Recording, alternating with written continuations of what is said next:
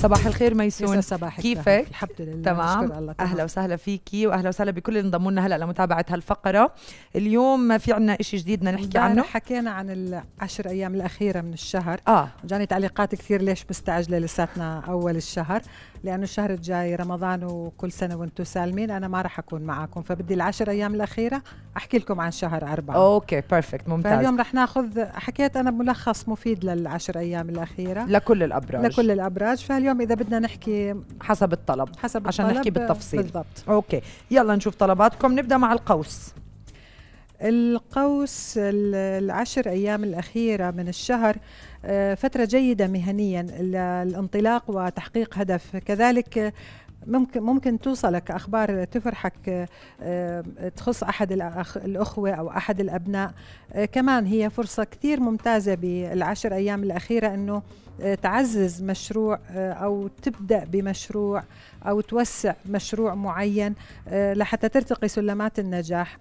كل هاي النجاحات أكيد ما رح تخلو من بعض التحديات وبعض الضغط آه، ولكن بنفس الوقت هاي الضغوطات رح تشوف مين اللي يدعمك أنك تخرج منها.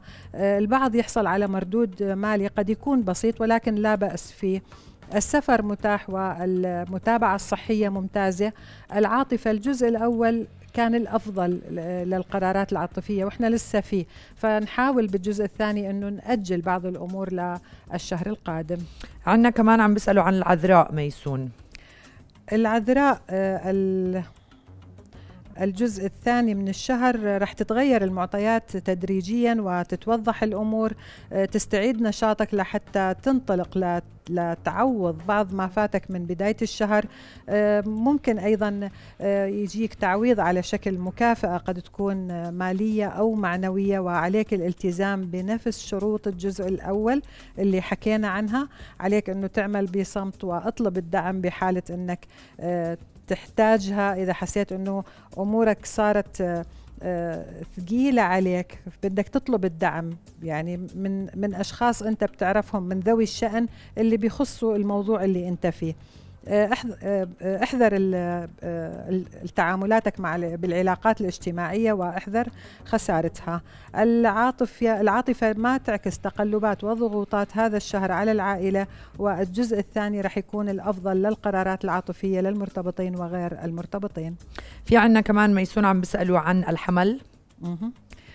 الحمل أيضا من الأبراج اللي عم بيصير عندها آه، تراجع بالسلبيات اللي كانت موجودة ببداية الشهر. رح تنتهي هاي المعطيات المزعجة اللي كانت موجودة. رح تشعر بنشاط وطاقة وتزداد ثقتك بنفسك. تعوض ما فاتك.